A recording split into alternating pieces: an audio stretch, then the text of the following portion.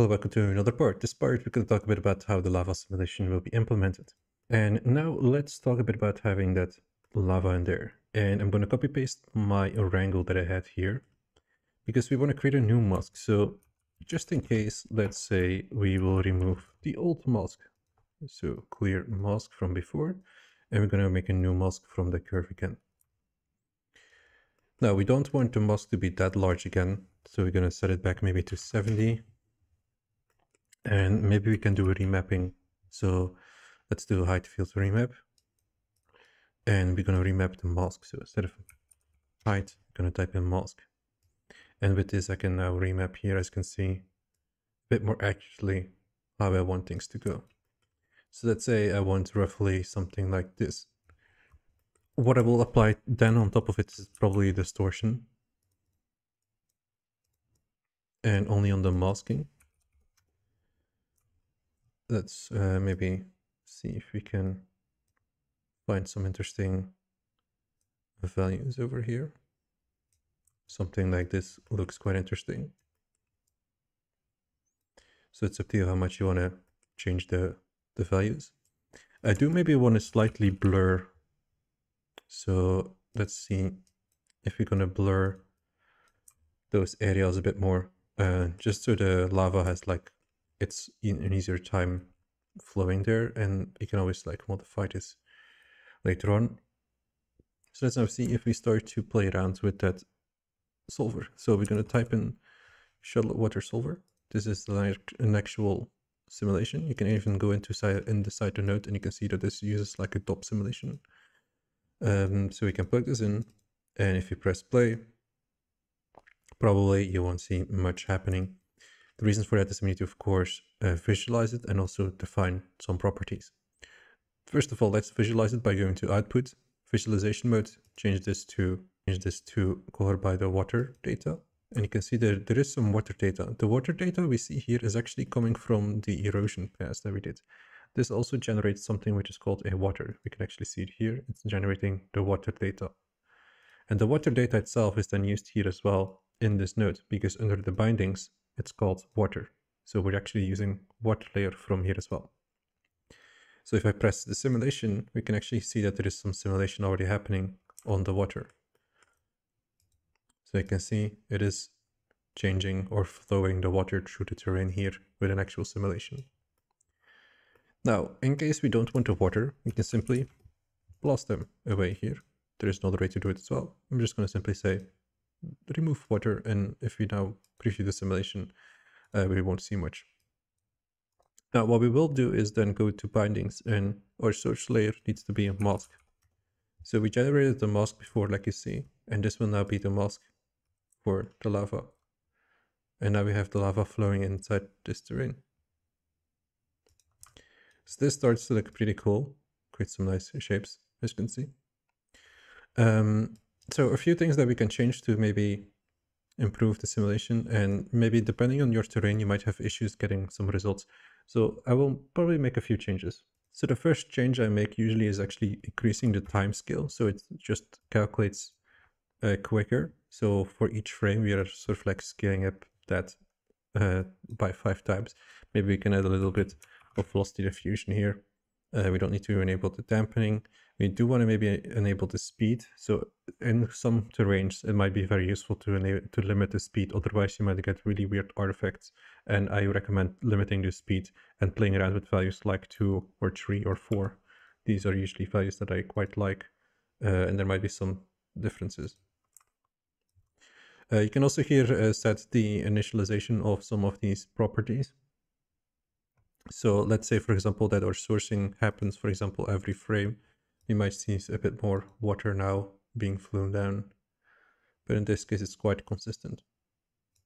But you can see it will, it will definitely keep stacking up the water over time.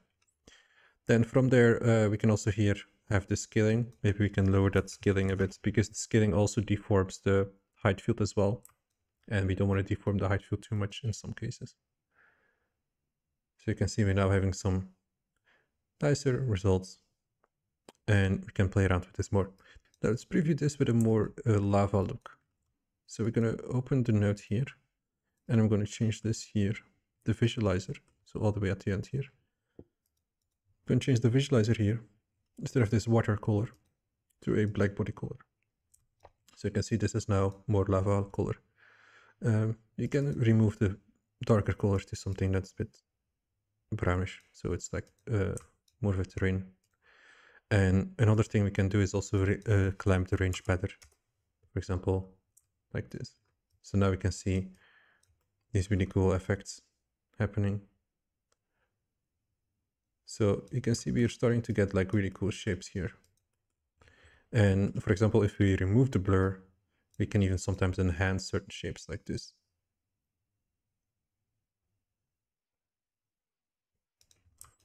So you can see you can start to make really interesting shapes by playing around with the noise on top of the lava you have. So let's say we are really happy with this. We can, for example, then stick with this. You can also apply a different noise. So if you apply uh, an additional noising here, we can again uh, make something else out of this. This is worth playing around with depending on what you want. But this looks pretty cool. So we might stick with this for the time being. This is sort of done. So this is the main part of the lava simulation. And another part is then of course saving this for Unreal. And what we can do with Nanite is actually convert this back to geometry. So we can apply a height field convert node. And we can use this now to have this as actual geometry. So you can see we can export this as a higher poly mesh. So right now we're around probably a million, uh, but we can have something like this or even higher resolution exported to Unreal. Another cool thing before I move on uh, we'll be getting some of the velocity data, which I will also talk about in a later video. So it is possible to get the velocity data from this simulation. And the way we do that is by making a grid that is the same size as our height field, uh, which was originally a thousand by thousand. So this should be roughly the same size now. And on top of that, we will scatter uh, a bunch of points. So apply scattering node. And we do want to have a good amount of points. Let's say maybe 20, 20,000. Let's see what that gives us. We have a nice amount of points. Uh, and then a way to get like some velocity data could be then using what is called a volume trail node. And this will help us to here plug in our points and then here plug in velocity data or the volume data. So you can see automatically, you can see there is something going on here. We are previewing some of the data from that uh, height field. What we want to do is give a search on the specific namings. So let's check the names of the data, which is probably called just velocity or vel dot y or z. So we're going to type in same here. So vel dot, and then we're going to use mm, that icon here to only extract or to specifically extract that data. So you can see it only now we have a bunch of points, but the data is only available for these areas where we masked it, basically. We can also have the trail length, and now you can actually see it. Maybe I zoom in a bit more here. Now we can start to see all the velocity data, which is super cool to use. So we actually have now a very natural way to guide or flow the data in our mesh now. So that will be covered for a later video. But that's basically how we can use that uh, velocity data or if you want to extract it. You can bake this into a texture as well, like if you want to bake this into a texture map or something, and we can do that as well. But this is how you can extract some of that data. And that was it for this video. So we mainly talked a bit about how to add some lava effects into our terrain. And let's move on to the next video, talking a bit more about the geometry preparations for Unreal.